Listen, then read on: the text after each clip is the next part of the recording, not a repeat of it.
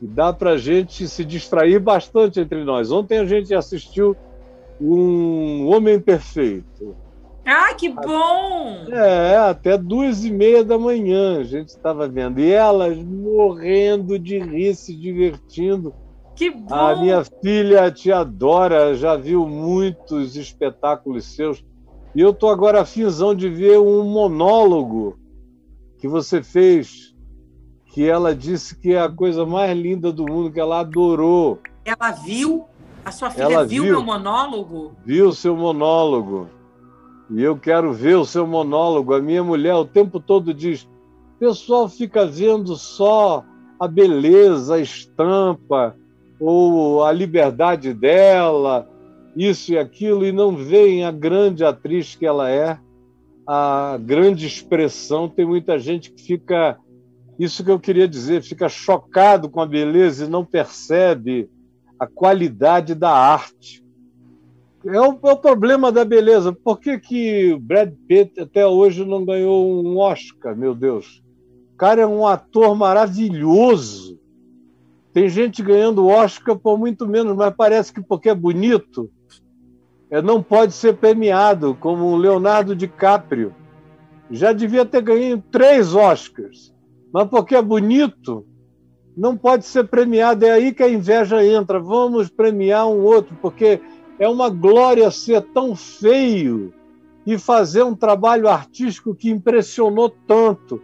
Aí parece que porque o cara é feio, a arte dele é melhor. É nesse sentido que eu acho que, às vezes, na hora da premiação, a beleza faz com que muita gente não perceba a glória da performance, da manifestação artística, ou então fica dizendo é tão agradável, é tão lindo, também puder, é tão bonito, é tão bonita, tinha mais era que ser.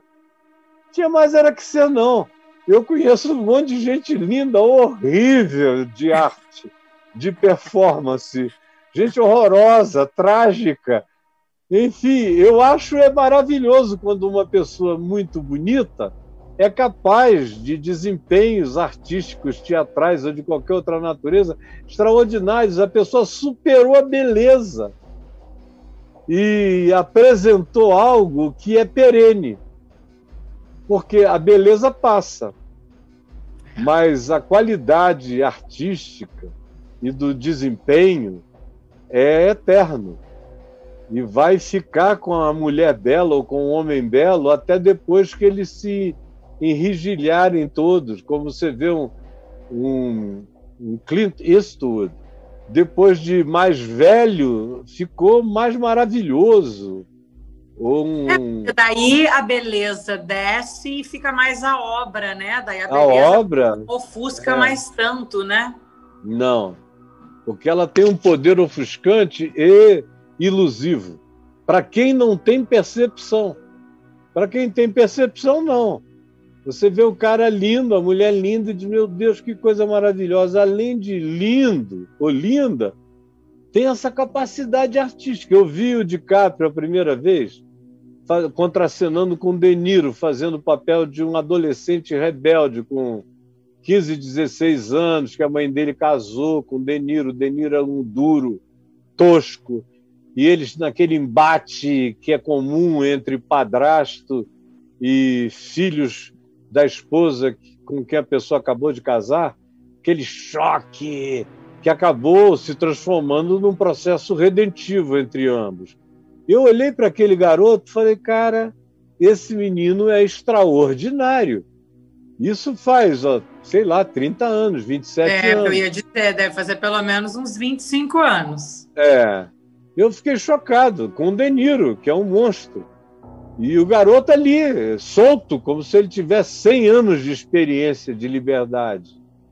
Então, eu, eu fico feliz quando eu vejo a beleza involucrar uma qualidade artística maravilhosa, porque eu sei que nós vamos ter uma manifestação perene de uma pessoa até o fim da vida, como é o caso aqui da Jane Fonda, que está idosíssima, com oitenta e tantos anos, cada com oitenta e tantos anos, cada vez melhor.